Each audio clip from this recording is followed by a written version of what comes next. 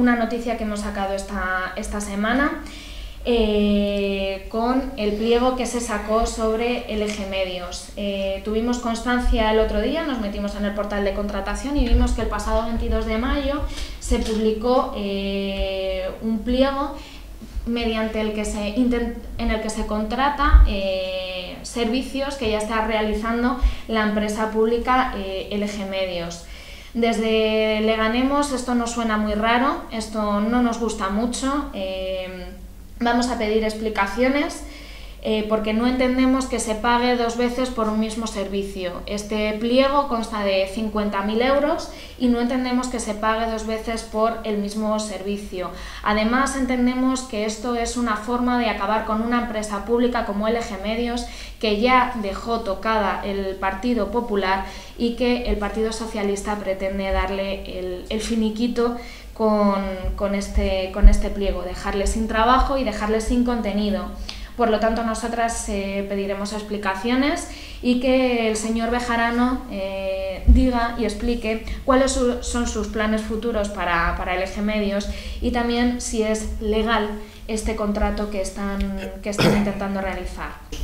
El ayuntamiento dijo el otro día, el gobierno, que, que estaba funcionando exactamente igual, que en los últimos tiempos no había ninguna variación Incluso hacía referencia a que eh, con contratación de servicios externos había habido desde hace mucho tiempo en, tanto en audiovisual como en fotografía como en otros servicios, entonces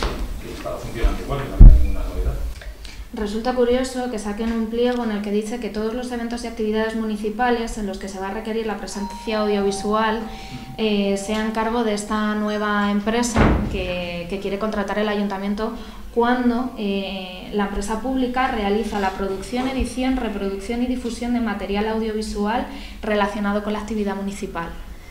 Resulta curioso que se intente pagar dos veces por el mismo servicio o es que hay algo más detrás. Porque en el pliego, perdón, has dicho, dice que todos, todos los, todos los eventos, todos los eventos o actividades municipales en los que se requiera presencia audiovisual.